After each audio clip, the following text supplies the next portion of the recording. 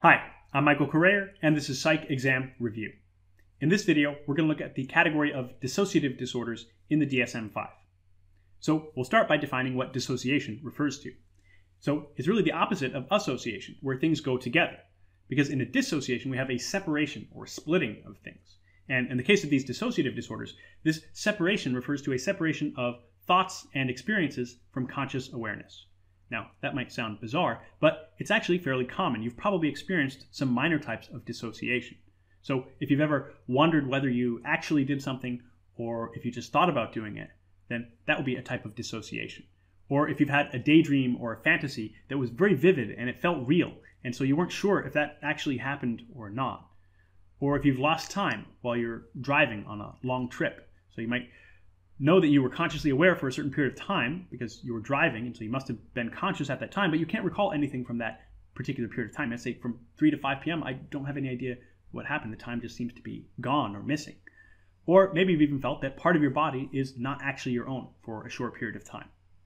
Now, of course, these experiences can occur in response to drugs or medications. So if you've ever blacked out from drinking too much alcohol, where uh, you were consciously aware at the time, uh, but then later you have no recollection of those events. So uh, your friends say, oh, you did this or you said that, and you have no recollection of it. That would be a type of dissociation. And this can also happen in response to other drugs like painkillers or anesthetics. Uh, recreational users of ketamine sometimes describe falling into a K-hole where they have this dissociation, they lose time, or they uh, don't have any conscious awareness of certain experiences, or they may even feel that they lose their sense of self temporarily under the influence of this drug. Now, of course, in the DSM 5, if these symptoms are occurring in response to uh, substances or medications, then they wouldn't be considered symptomatic of a dissociative disorder.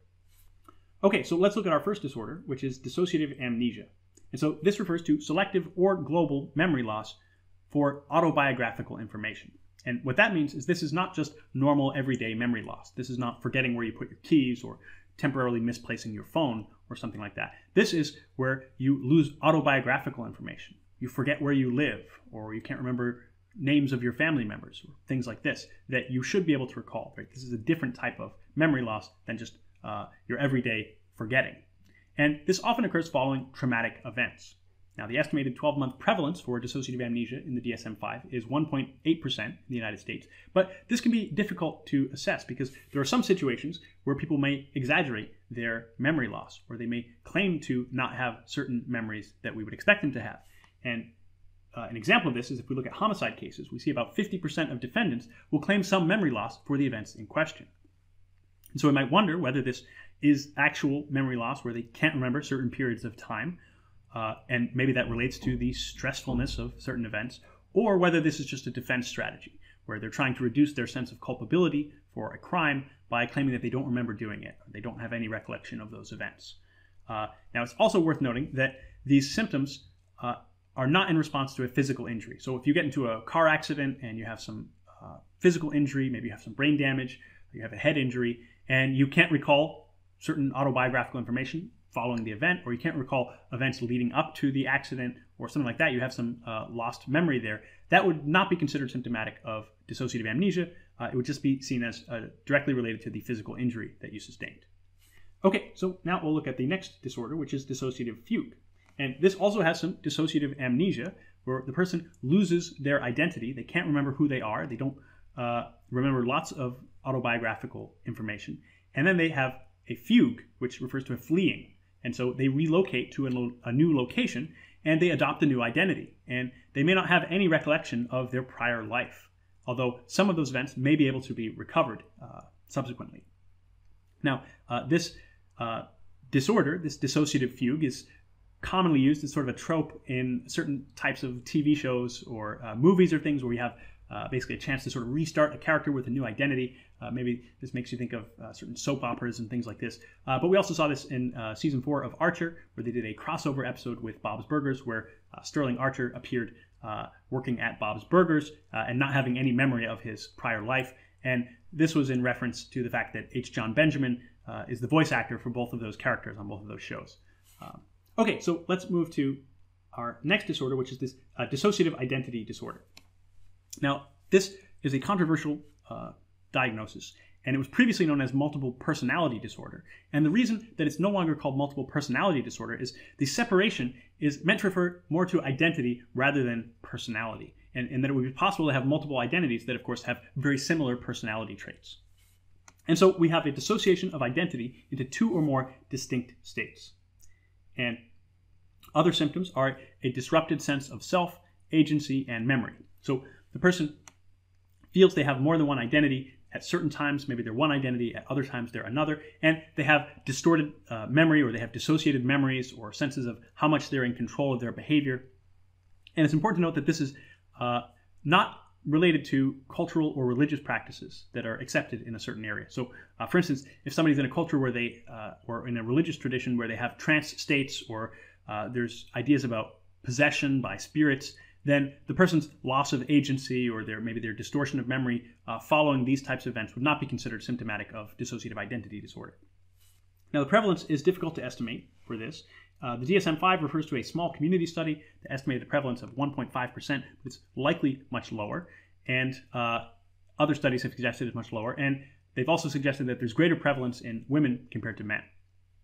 And one explanation for this dissociative identity disorder is that it relates to coping with traumatic events by separating out certain experiences from one's sense of identity, then that might allow them to cope with certain traumatic events. And so it's estimated that about 90% of people who get this dissociative identity disorder diagnosis also suffered from childhood abuse. And so perhaps by splitting their identity into multiple identities, that was a way of coping with this abuse. Although this can be very difficult to assess and it's very controversial because it brings in the role of suggestion in therapy. So if these people are uh, going to therapy for certain symptoms that they're experiencing, it might be the case that they have dissociation of memory, they have some uh, distorted memories or things they don't recall quite well, and it might be the case that these memories are being suggested to them by the therapist, that memories of childhood abuse may not necessarily be accurate. Uh, or it could be the case that these symptoms of dissociative identity disorder are being suggested by the therapist, and that the person maybe does experience some dissociations, but the suggestion that that means they have multiple identities that are operating at different times might be taken in by a patient who's vulnerable to this because they're experiencing dissociation and they want to understand what's happening. And so uh, it might be the case that that provides an explanation for them uh, and that it's more of a suggestion from the therapist rather than uh, an actual occurrence of this separation of identity. Now, uh, dissociative identity disorder is comorbid with a number of other disorders, uh, including PTSD, depression, anxiety disorders, and substance use disorders. And it carries with it an elevated risk of suicide. Okay, the last disorder that we'll look at is depersonalized or derealization disorder. And so this refers to a dissociation with reality, with uh, the person feeling that they, uh, the, the world that they're experiencing is not real or that they're detached from reality. Uh, they might describe this as being an outside observer of their thoughts, their feelings, their sensations, their body, or their actions. They feel that they are not actually in control. They're like somebody else just watching their body going through the motions, or this is sometimes described as an out of body experience. And in some cases, people report, report feeling that they have no sense of self or that they're no one. And uh, they may have a diminished sense of agency, so they don't feel that they're in control of their actions, and an altered sense of time. They can't seem to track how much time is passing, or the time is moving more slowly or more quickly at different times. And derealization refers more to this sense that the world around them is not real. So they might feel that they're in a fog or a bubble or a dream, even though they're actually experiencing the real world. And in this uh, derealization, they may have some distortion of their senses. They might feel that their uh, sense of distance is disrupted. They can't tell how far away things are, whether something is close to you or far away, or the size of things might appear to change. So something uh, seems very, very large and then very, very small. Or they might have a distorted sense of uh, sounds around them being muffled, or like they hear like voices sort of are echoey, uh, as if they were, uh, you know, or muffled as if they were coming through glass or, or something like that. And this may last from just a few hours to several days. Now, the estimated prevalence of this depersonalization or derealization disorder is about 2%, and it's uh, roughly equal for males and females. But these experiences are actually much more common. So uh, it's also estimated that about half of adults will experience some sort of episode of these types of symptoms at some point in their life. So they may have uh, a temporary experience, although it's usually not severe enough to warrant a diagnosis of this depersonalization or derealization disorder. Okay, so those are some of the disorders in this dissociative disorders category of the DSM 5. I hope you found this helpful. If so, please like the video and subscribe to the channel for more. Thanks for watching.